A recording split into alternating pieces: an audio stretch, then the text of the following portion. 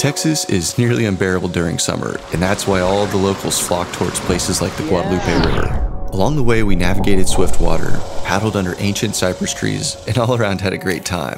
But the Guadalupe River wasn't going to let us off that easy. Challenges showed up early and stayed the whole time.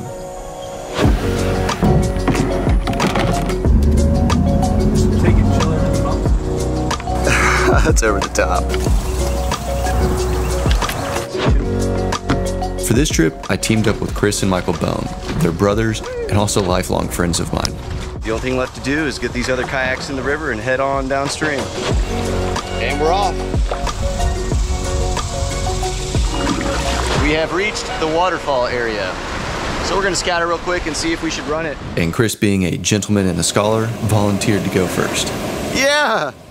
You should have told me. All right, here goes nothing. Whoa!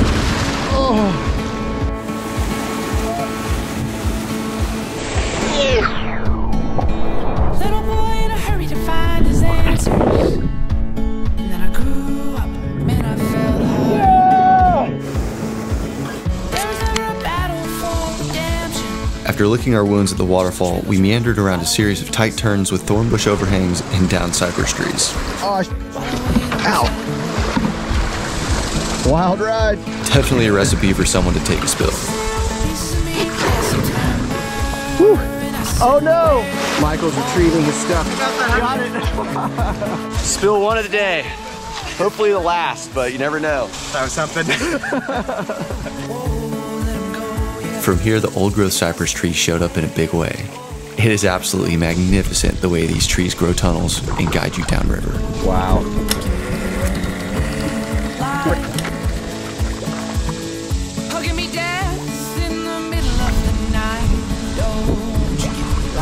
We even spiced things up a little bit and tried to sup down a few rapids, with mild success. Tell me all the secrets. Yeah! There is never a promise of tomorrow. Made a decision to Yeah. It's just like It's kind of funny when you're turning a corner, you can just tell where you're gonna have a beautiful view.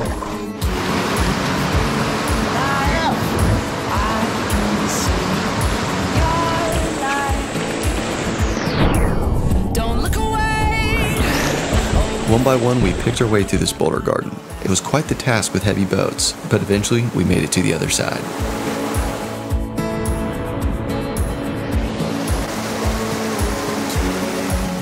At this point, we're all getting pretty tired, so we do a little refuel break, grab some food.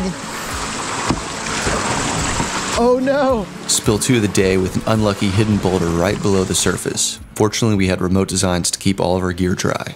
I think we found a good little island to set up, have some lunch, make some coffee. Yeah. oh yeah.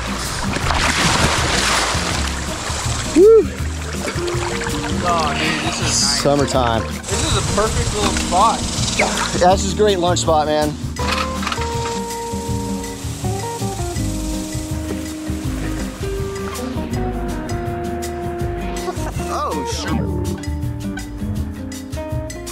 Right here, fresh on the river. Now, I'm not going to taste that right now because it's molten lava level hot. And because we're doing afternoon summer coffees, we're to spice it up a little bit with a Guinness Nitro. What was that word that you used? Nitrogenated. it's a nitrogenous beer. I didn't make that word up. Nitrogenated. it's literally on the can. oh yeah. It was like literally a perfect stash. Cheers, guys. Cheers. Cheers. What's the verdict? Very, very good. Nice.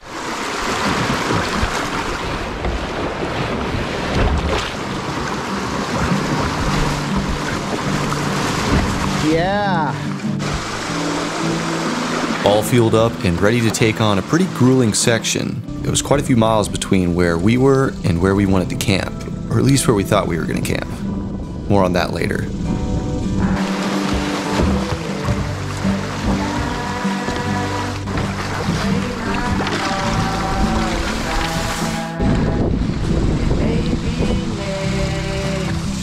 We've reached the flutes again.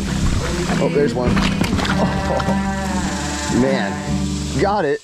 I think y'all beat us to the spot. I'm Gatewood. Hi, I'm Jeanette. Jeanette, nice to meet you. Wife. Michael Middleton. Good to see you, Pleasure Michael. to meet you, man. Absolutely. How are you? Les Tompkins. Gatewood, nice to meet you, Les. We just ran into a fellow kayak camper, Michael Middleton. So we're gonna hang out for a second. We're gonna push on further this evening and go set up camp downriver. Time to push off. The race to find camp begins. Michael, along with his friends and family, were so kind to let us hang around for a bit.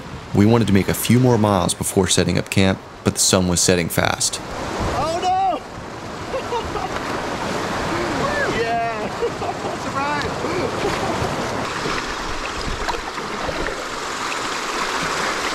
Wonderful.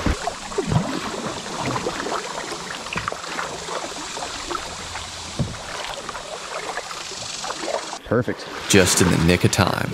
Nice lowland area for us to spend the evening. I think we found camp, guys. Whoa.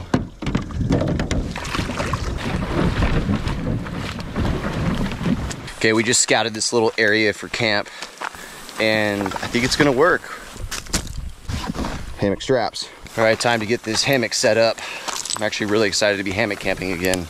It's been a while, and it's definitely my preferred method of camping. But I think we found ourselves a winner. This is a really, really great campsite. Ain't she a beaut? All right, Michael, welcome to your crib. We got a towel for a pillow, a towel for a bed, and a budget deal. Feeling good. Right now, Michael is gathering some firewood, and I'm about to join him because we need to get this fire going and get some coals ready for cooking.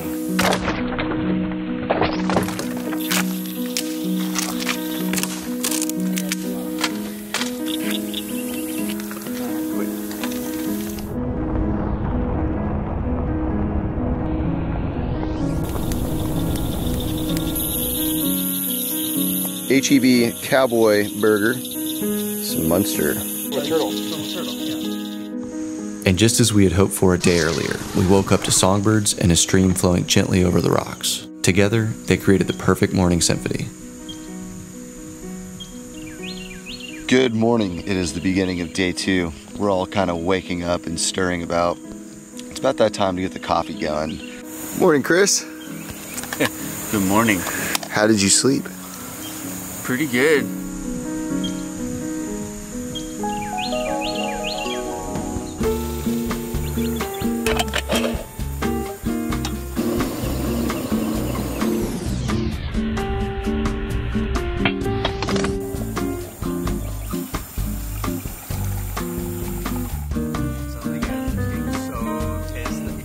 Got Michael making a Oreo toaster. Yeah, dude. Oh, you said it on there.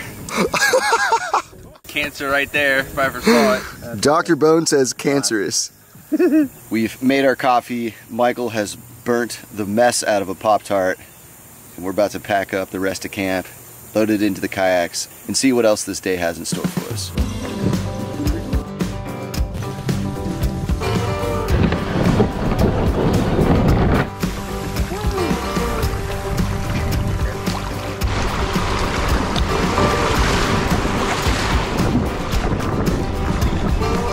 Now, I know for our northern friends, it's peak time to get outside. Down south, it's a bit tough right now. Even in the firm grip of summer, can you plan a simple trip and make memories that'll last a lifetime?